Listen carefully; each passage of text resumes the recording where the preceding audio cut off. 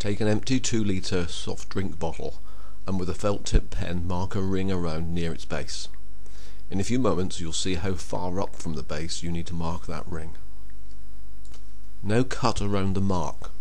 You will need an adult to make a hole in the bottle first with a sharp knife.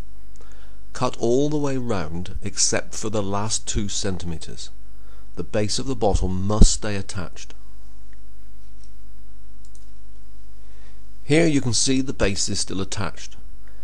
Pouring in a cupful of water to the base keeps it flat on the surface. The top part of the bottle needs to rest on something. A brick works well. Here I've used an old ice cream carton.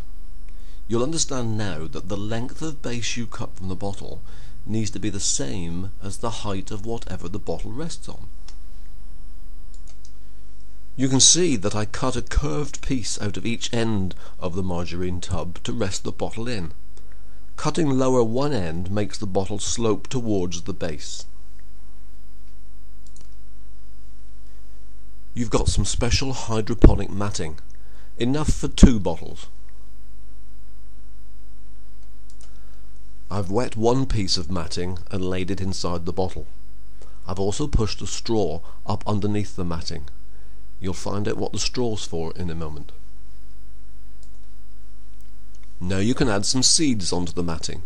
Here I've sprinkled a few grass seeds in. You could use the fast-growing seeds or some other seeds that you've got at home. Make sure you keep the matting damp every day, add some water, uh, and wait now until the seeds germinate and take root in the matting. Okay, first part done. The seeds will grow and eventually root into the matting. They will then need more water and nutrients. We've given you a pump to keep your plants watered. Start by pushing the end of a straw into the pump. You could drive the pump using a rechargeable battery and holder that you had in a previous kit. Here you can see I've joined it all up together using crocodile leads. Alternatively, you could drive the pump using your solar panel. Here again you can see that I've made a circuit using crocodile leads. If you use the battery, it will of course go flat. You can recharge it with the solar panel. So you could charge your battery during the day with the bright sunshine and then use it to run the pump in the evenings. Here I've put the pump into the base of the bottle and you can see that the pump is pushing the water up the straw and underneath the matting. Here it's outdoors and the sun is shining brightly and the solar panel is driving the pump very nicely. If the straw sticks up too high from the pump, you'll have to cut a little bit off.